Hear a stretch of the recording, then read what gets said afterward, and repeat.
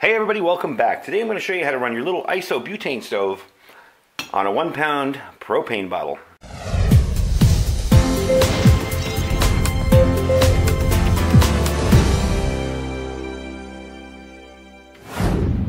Alright, thanks for coming back today. Thanks for watching. I want to show you something that's really kind of handy. This is a Lixada camp stove adapter. They run about 14 bucks. Fairly simple, fairly simple item. And what they'll do is they'll adapt your propane bottles, your one pound propane bottles, to your little Lindal valve for all of your different camp stove. And we're going to test them all out today. I'm going to show you what it works well with and what it doesn't work well with. But pretty much what I like about this is it gives you more options. And more options as a prepper or survivalist is always good. It also can help you run this these kind of stoves when it's a little colder out than usual. We all know these things don't perform well in the extreme cold, and these do. Propane vaporizes at minus 44 degrees Fahrenheit.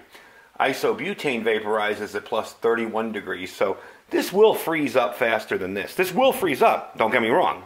I've had them freeze up on me, but this will freeze up a lot slower than this one. So I'm going to show you how this works pretty much.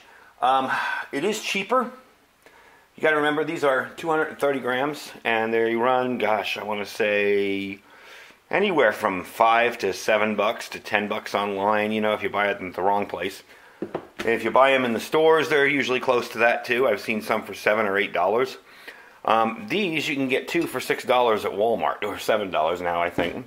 And they're fairly inexpensive, and it's more volume. You're talking about 230 grams as opposed to a one pound propane. Now, propane butane mix gives off a good hot flame. And again, I'll show you what it doesn't work for. But it burns very hot, very quick. And this is cheaper to use and has a bit of a higher pressure, so you will get higher flames. So you want to keep that in mind when using it on your stoves. Some stoves can probably take the higher flames, like these Coleman Peak ones. These are pretty sturdy. But when you're using something like a little tiny BRS titanium, you want to keep that in mind. Higher flames, hotter temperature might melt it, you know. Generally, probably not a problem, but it might it might happen. So it's a good idea to, keep an eye on it. First thing we're going to start off with, whoop, is this guy here. This is just a Lixada deal, and you're going to take the Lindal to the Lindal there. See, and it screws on very easily. So there you go. Bring this over here, and I'm going to screw this on here. And again, this isn't a perfect solution, but it does give you more options for your stoves. Okay. I think that's pretty well set up. I don't I forget if the uh, sparker works on this one. Yeah, it doesn't. So let's use this one. And there you go. I'm going to move the camera up a little bit here so you can actually see it. And you do have a little bit of a higher flame. This can go much higher. Because again, the pressure inside this bottle is a little bit higher than the pressure inside these. So as you can tell, it works, and it works very well. And if you're just cooking, works great. Let's test it out with the other stoves real quick.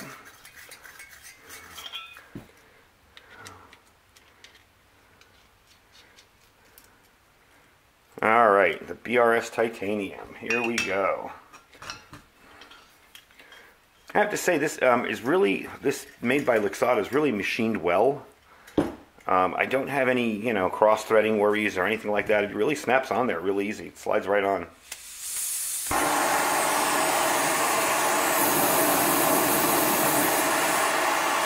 Now the nice part about this is still using the propane. I can simmer that really, really, really low. See how low that is? So it's just like using the isobutane. It still works the same. It still simmers very low. It'll just give you a little bit of a higher, higher flame. So you want to keep an eye on that. Let's switch out to the last one. This is the Coleman Peak.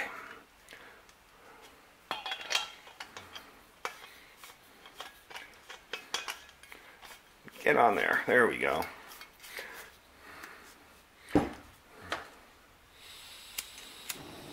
And again, this one too simmers very low.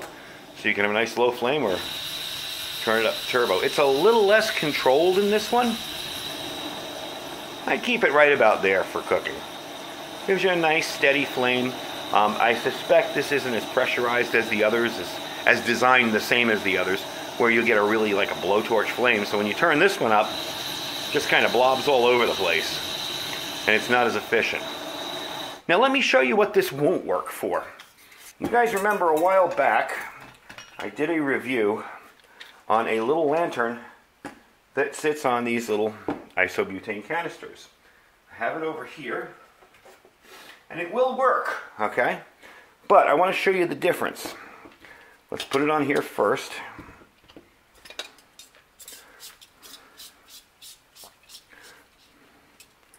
There we go. There we go. Lighting it on top is a little bit easier. Lighting it on the bottom wasn't, wasn't behaving. So you see how nice that works. You know, nice bright white light there.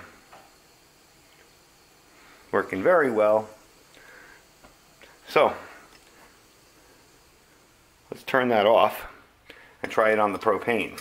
And again, I suspect the differences are the fact that the gas is not of the same composition and probably not at the same temperature and mix.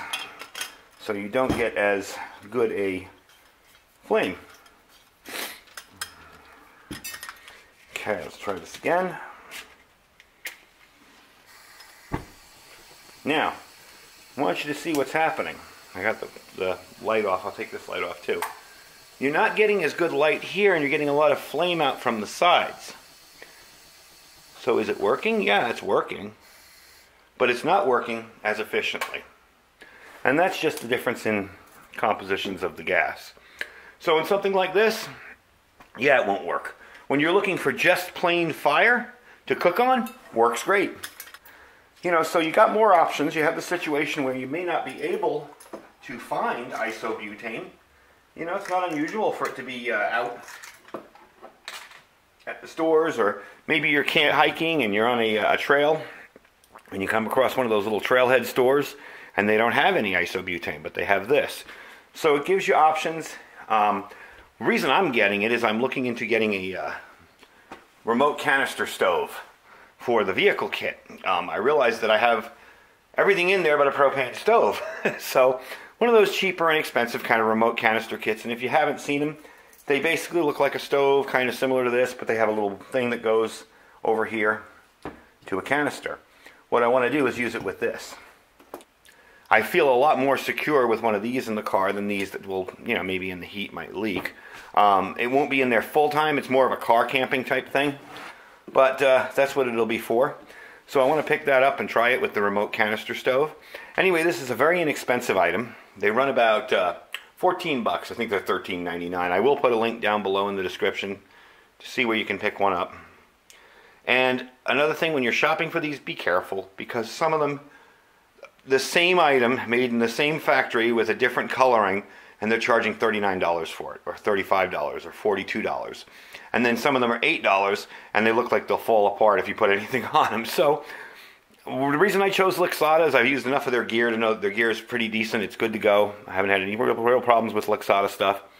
So that's why I chose it. And that is the Lixada camping stove adapter. Like I said it's 14 bucks now, again, this is going to be a heavier carry, and you're not going to carry this in a bug out bag or something. But for a car kit or car camping or overlanding or just an overnight camp somewhere, it definitely gives you more options. So uh, if you're bugging out, say, and you got your kit in your car and your bug out bag in your car, which is generally how I think most of us plan on bugging out, you know, at least to start until the gas runs out, um, you have an option. You have a way to uh, power your stove, and it's not heavy. You know, it's a very light object. I guess maybe four ounces or so. You stick this in your gear, and you're always ready for a situation where these become either unusable because of cold or unavailable, and all you can get are these. So what I'd like to do, we're coming to the end of uh, to winter here. We may have a few more cold days. What I'd like to do is on the next really, really cold day, I want to take this out and try it, but we may not get another really cold day like we've had. So if I don't get to do that, we'll test it next year, I guess. it gets really cold. Um, I want to see how it holds up. Now, I've had these frost up when I'm using them in a propane heater. You know, the little Mr. Buddy single propane heater thing. I have had them frost up, but they still keep working. So that's the option with that. This will give you a little more runtime in the cold, whereas this won't. Anyway, that's the video for today. This is the Lixada camping stove adapter. They're about 14 bucks. Links down below in the description. Don't forget to check out our Amazon store. Um, everything in the store is pretty much what we review, um, give or take a few things. And uh, you can check it out. And if there's nothing in the store you like, just click that link, search in the search bar for whatever you normally purchase on Amazon. Won't cost you anything extra, and it helps out our channel a whole lot. And we really do appreciate those of you that have been doing it. And don't forget to check out our Thrive Life link. I got some more Thrive videos coming up. It's um, I've been trying to work them in. It's been a little hard because of all the other stuff that I had to review and stuff going on with buying a new car and getting it outfitted and everything. So I have more Thrive videos coming um, rather soon. So don't forget to check out that link too if you're interested in getting started up in some freeze-dried food. It's really high quality stuff. Um, I know I sell it, I'm saying that, but I'm telling you, ask other people who've tried it. It's way better than most freeze-dried stuff. Anyway, folks, thanks for watching. I uh, appreciate that you guys uh, take your time out of your day to watch us. Don't forget to click and uh, click like and share and subscribe if you like the video. And stay safe and stay prepared.